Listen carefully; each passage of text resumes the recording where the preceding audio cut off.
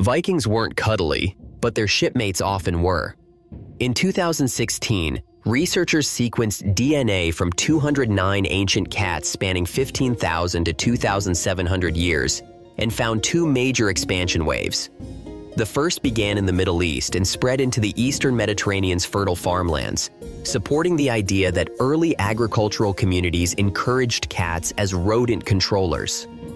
Thousands of years later, a second wave radiated from Egypt, where cats were revered, carrying felines across Africa and Eurasia aboard seafaring vessels.